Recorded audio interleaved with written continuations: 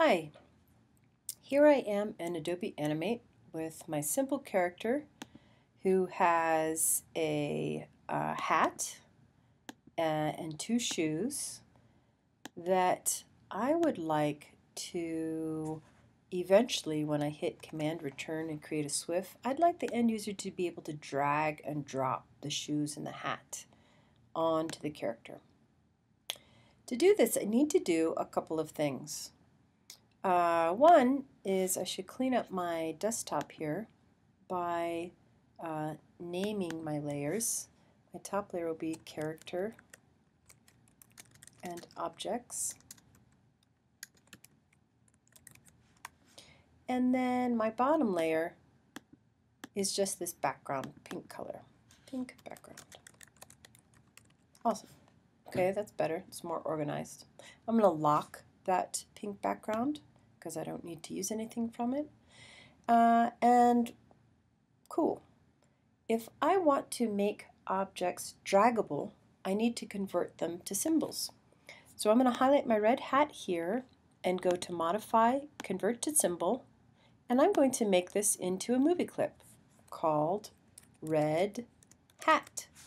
I'm going to use camel case, which is um, two words. The first word's all lowercase, and in the second word, the first letter is uppercase.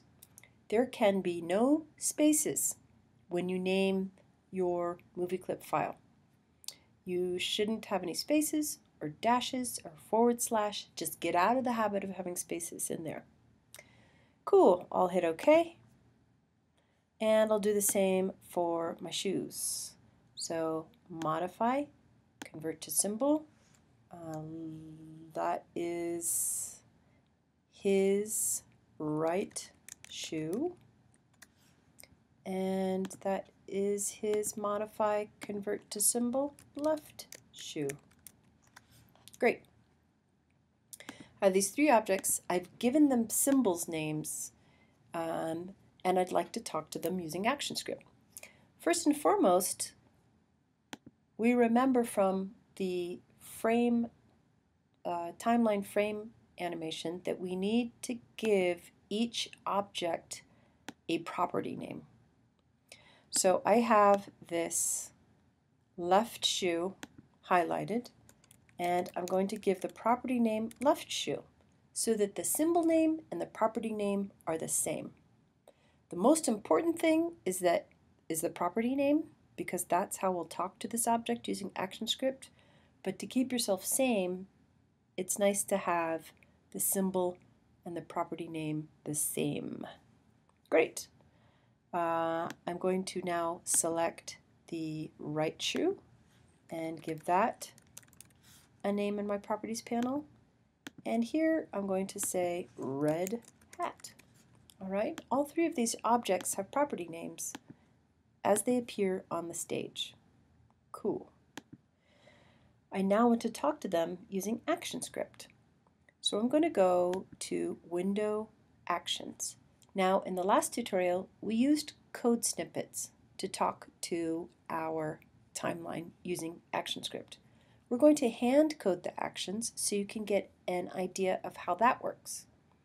I'm going to open up the Actions window and the first thing I'd like to do is I would like to talk to this red hat so that it can be dragged when we export this file for a user to interact with. So, using conventions, using ActionScript conventions, I'm going to type some code. You will find this code, so you can copy and paste it at the bottom of the YouTube video in the comment section. Alright, the first thing I want to do is talk to that red hat using the property name that I gave it. I now want to say, hey, let's add an event listener. That event listener is going to be a mouse event and it's going to be a mouse down.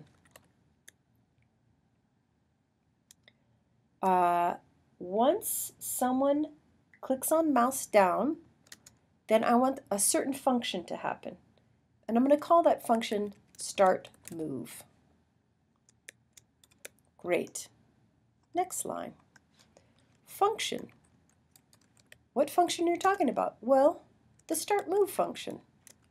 I just called it start move up here and this is what I want to have happen when that start move gets called. Start move, well start move is going to be an event. It's going to be a mouse event. Now ActionScript is trying to give me some uh, code hints here, which is very nice of it, but I don't need the code hint. Uh, so now I'm going to hit colon, and I'm going to type void, and I'm going to open up a curly brace. And when I open up a curly brace, it automatically puts a closing curly brace. And it gives me this red line indicating that this is the content that goes in between the curly braces. And what I want to say is, hey, Red Hat, start drag. And then I'll do a semicolon. Okay, cool. Now all of this will allow the user to click on the red hat with the mouse down and that will trigger this function called start move to happen. And start move is all about just telling that red hat start drag. A couple things.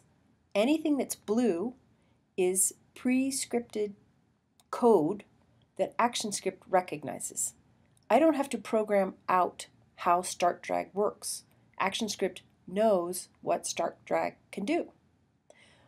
Also, add event listener. That means basically, hey, Red Hat, uh, perk up your ears. Whenever someone does a mouse event, such as clicking down on a mouse, then do this thing. Now this thing is, I call it start move. I could call it hot dog, and it would work every bit as well. It's not semantically very useful to call it hot dog. This line of code um, is added because if all the libraries were imported into Flash every single time it ran, it would really slow down the output. So we only kind of call it in as needed, but Flash will add that code. In general, Flash will add that code for us. All right, let's test our movie. I'll move this aside and I'll do control return. I get a, uh, the SWF file, and cool, look, hey, I can drag that hat around. Oh no, but I can't get rid of that hat. It's stuck to my mouse. Back to the drawing board. Better go to my action script here. What do I need? Well, I have a start move. I need a stop move. So I'm going to set it up similarly. Red hat. Add event listener. Mouse event. Mouse up. Stop move. Function. Stop move event mouse event. Whoops. Void. Open curly brace. They automatically close that curly brace. And now I want to say red hat stop drag. Let's see how that works. I'm going to drag my hat over and release. Awesome. Cool.